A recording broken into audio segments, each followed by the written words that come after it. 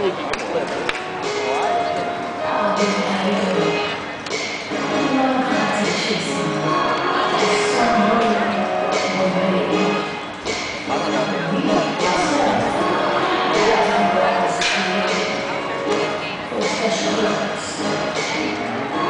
See that last three-pointer they made? He was inside the arc on that side over here, too.